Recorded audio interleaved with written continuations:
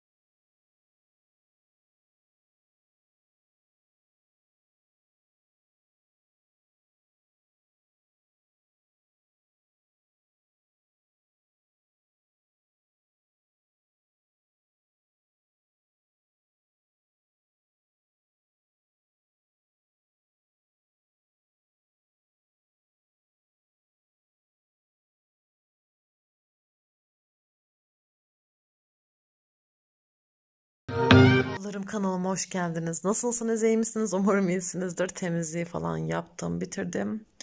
Böyle tertemiz oldu ama videoyu yeni elime alabildim. Her yer misler gibi oldu. Ayrıntılı bir temizlik yaptım. Her şeyi çektim. Vitrinin içini falan boşalttım. İçerileri de göstermeye gerek. Bir tencere.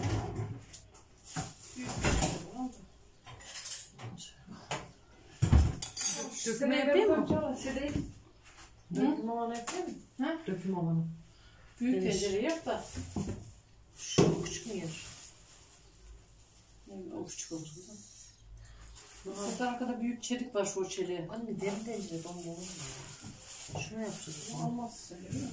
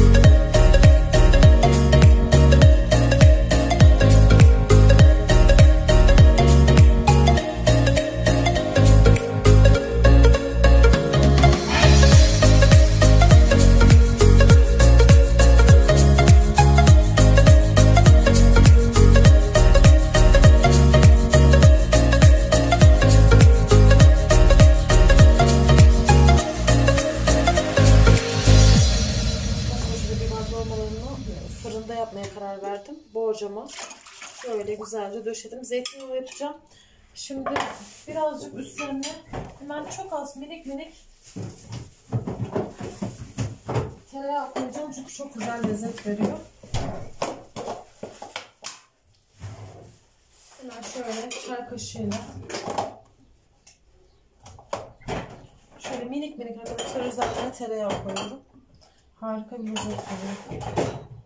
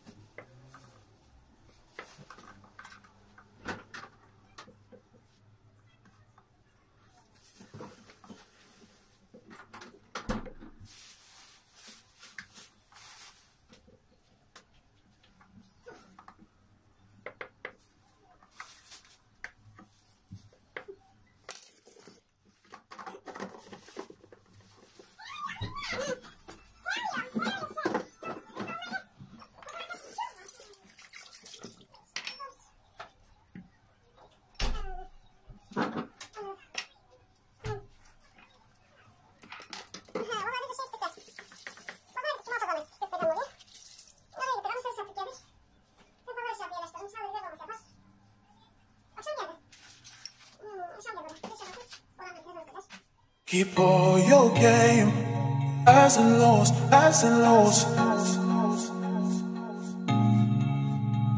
It's all the same, highs and lows, highs and lows. Keep all your game, highs and lows, highs and lows.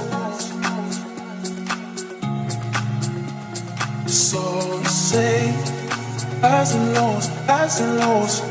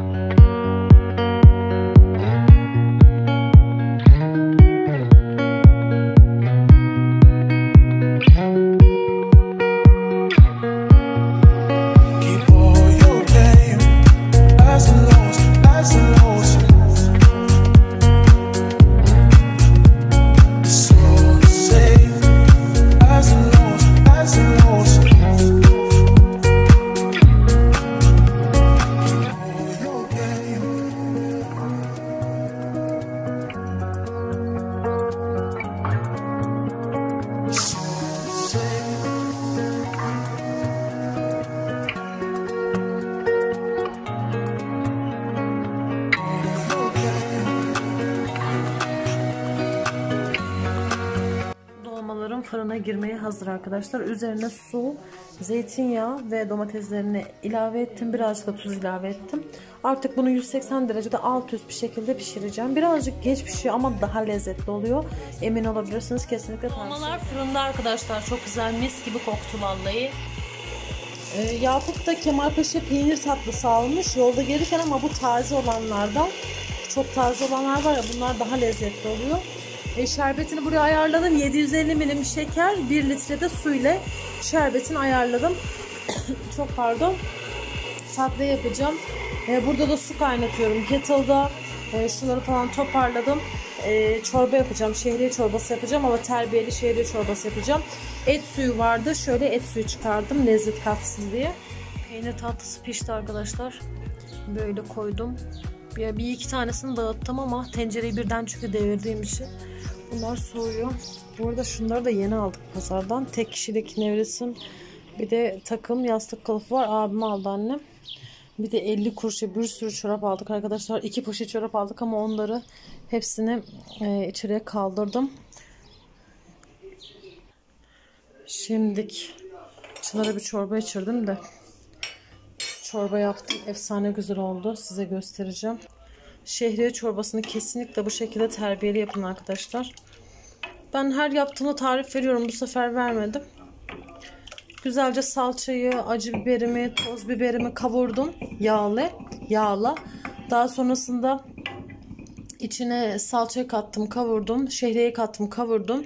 Sonra e, et suyu vardı. Et suyu kattım. Siz atmayabilirsiniz.